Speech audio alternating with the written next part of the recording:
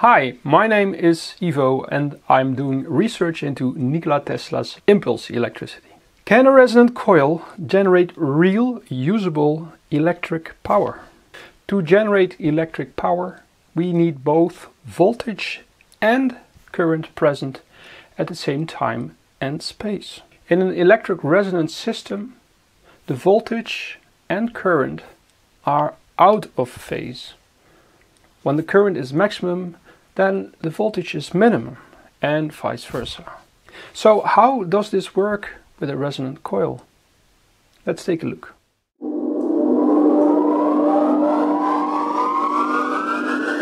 For easy explaining, I will assume resistance is zero in system. In real life, there is always some resistance which will transform the electric power into heat losses.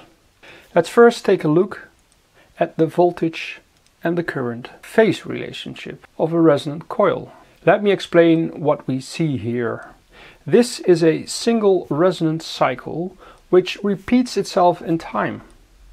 In red, the resonant voltage sine, which represents the dielectric ether field. And in blue, the resonant current sine, which represents the magnetic ether field strength. As you can see, the red voltage and the blue current are 90 degrees out of phase. When the voltage is maximum, the current is minimum, and vice versa. The magnetic current and the dielectric voltage are constantly transforming into each other. I have divided this single period into four quarters, Q1 to Q4. And Q1 runs from 0 to 90 degrees and Q2 runs from 90 to 180 degrees and so on. When Q4 ends at 360 degrees, Q1 starts again in a new cycle at 0 degrees. Now let's take a look at the power of this resonance system. Electric power exists when both the magnetic and the dielectric fields are present in the same time and space. This means there needs to be current and voltage present.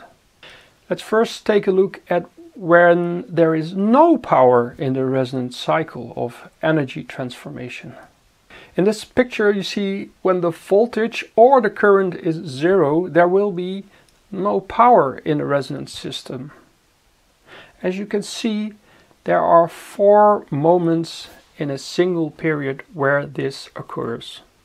At each transition of one quarter into the next quarter, there is a moment of transition of polarity where there is no power.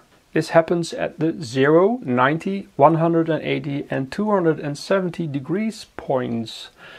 These zero power, power points are infinitely small points in time. Now let's take a look at the time periods where there is power in a resonant coil. We have seen that the resonant voltage and current sines uh, of a resonant system never are maximum at the same time. But while the voltage is transforming into current and vice versa, both voltage and current are present at the same time. In the graph we can see this almost all of the time. So a resonant coil almost always has power. To me that was rather a surprising realization. But the question now becomes, is it generating power or is it consuming power? For this we need to take a look at the polarity of the voltage and current. Take for example a DC lamp. When this DC lamp burns, voltage and power can be measured. They will be equally in polarity. One positive DC amps and 12 positive DC volts will consume 12 watts of electric power. Note that I said consume. The lamp consumes 12 watt of electric power and it generates 12 watt of light and heat. This is due to the conventional current. It would be logical if the consumed power would be expressed as negative. It would be correct to say the lamp is negative 100 watts or negative 12 watts, but this is not the case due to the conventional power flow from positive to negative, while in real life current flows from negative to positive. This is an old agreement that is simply silly and false, but we are so used to it we can't change it. If you are confused now, don't worry, I'll keep using the conventional current. This is just to make you understand what nature really is doing.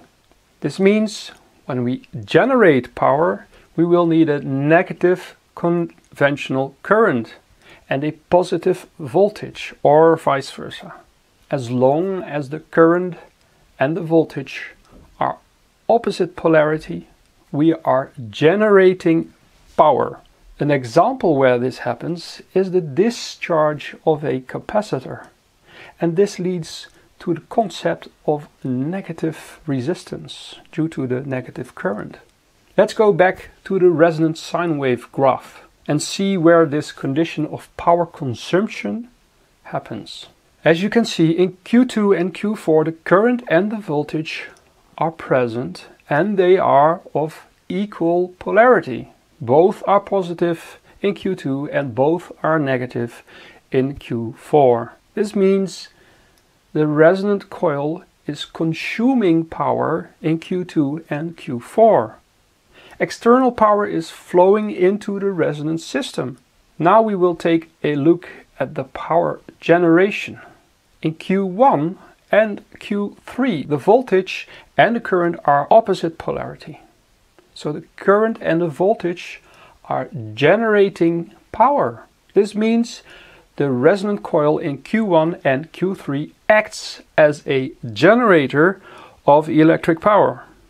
Let's now take a look at the oscilloscope where I have probed the voltage and the current of a resonant coil. And by multiplying the voltage and current, I can plot the power of the system. I've made a setup, a resonant sine wave is produced. This is the voltage and here is the current in purple. As you can see they are out of phase and I have a bigger phase shift than 90 degrees because my current probe uh, has a measurement error around this frequency of around 10 degrees so it's not perfectly 90 degrees but in reality it is I just use this to show you the power calculation as you can see here is the power trace in light blue the frequency of the power is twice as high as the resonant frequency. And as you can see, we have a negative power cycle where the power is being generated, a positive cycle where the power is consumed, a negative cycle, a positive cycle, and so on. At twice the frequency of the resonant system. So this maximum on the voltage is one cycle and if you go to the power, we have one, two cycles. So the power frequency is an octave higher than the resonant frequency of the system. Okay, now let's take a look where the power maximums are situated. We have the first quadrant here from 0 volts to maximum voltage. And on the middle of the first quadrant is the negative power maximum where power is generated. So that is on one eighth of the cycle. Then we have a power consummation maximum here again in the middle of the second quadrant. So that is 3 eighths. And then here starts the third quarter and in the middle of the third quarter is the negative power maximum again where power is being generated this is the 5 eighths part fifth eighths I don't know how you call that in correct English. Remember, I'm Dutch, so my English isn't perfect as you already have heard. And then in the last uh, quarter, in the middle of the last quarter, is another positive power maximum where power is being consumed from outside of the system on the 7 8th part. So, when we add up the power consumption and the power generation, we will come to the conclusion that the total power is zero as the resonance cycle generates and consumes in equal amounts, which add up to zero total electric power. So we have seen a resonance cycle of electrical field energy transformation.